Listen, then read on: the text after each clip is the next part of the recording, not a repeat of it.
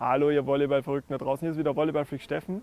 Ihr habt wieder eingeschaltet bei einer Folge für Volleyball für zu Hause. Und diesmal arbeiten wir an unserem Float-Aufschlag. Wie das genau aussieht, zeige ich gleich.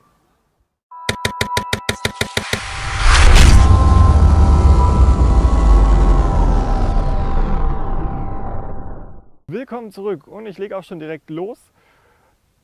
Die Übung 1 die wir hätten machen können, wäre im Prinzip der Anwurf, aber die haben wir schon in Übung 15 für Angriff gemacht, deswegen schenken wir uns die an dieser Stelle und gehen direkt zum Aufschlag an die Wand.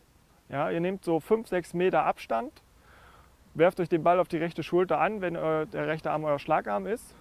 Und ganz wichtig diesmal, ist, wenn ihr den Ball trefft, dass ihr möglichst zentral trefft. Ja? Also nicht wie beim Angriffsschlag Handgelenk drauf und äh, oben drauf, sondern wirklich zentral, damit er dann auch die Floater-Position ist. Und an der Wand solltet ihr euch ein kleines Ziel suchen, so ungefähr auf zweieinhalb, drei Meter auf die 5, 6 Meter Entfernung, damit ihr dann auch wirklich simuliert, dass der Ball auch übers Netz gehen würde. Und das Ganze sieht dann so aus.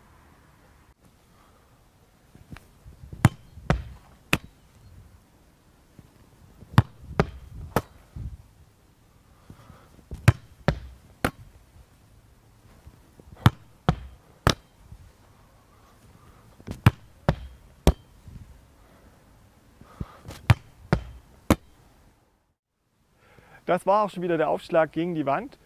Ihr könnt natürlich noch eine Schwierigkeitsstufe höher nehmen und einen äh, Jump Float dazu nehmen und den dann gegen die Wand hauen.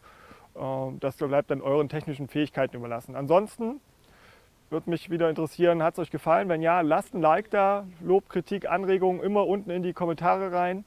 Und damit ihr die nächste Folge von Volleyball für zu Hause nicht verpasst, subscribe den Kanal und dann sehen wir uns in den nächsten Videos wieder. Bis dahin sage ich Ciao!